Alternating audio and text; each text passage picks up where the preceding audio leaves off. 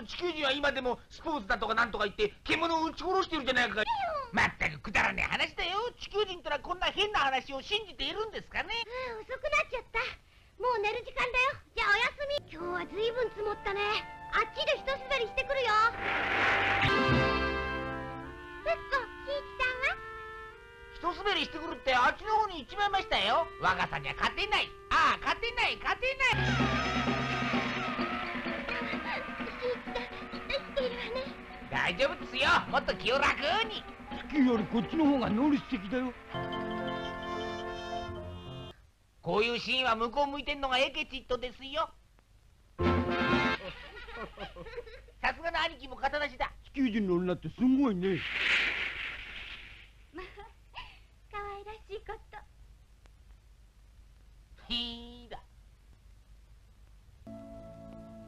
地球人ってのは雪でも氷でも自分たちの楽しみの材料にしちゃうんだね。こんな遊び好きの生き物なんてのは初めてだよ。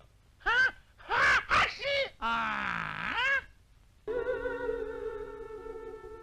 私は助けてもらいたいの。お前。ああ何すんのよ。お前たち。私の頼みを聞かないなら私にも考えがあるのよ。諦めたわけじゃないのよ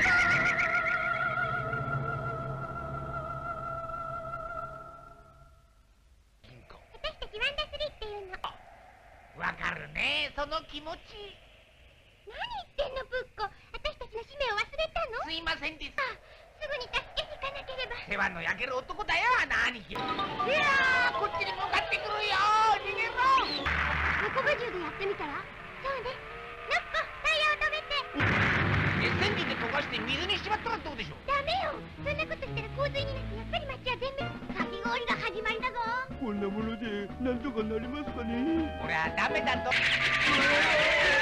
ああどうですかね。今の人間じゃ到底ダメじゃない？希望を捨てちゃダメだよ希望を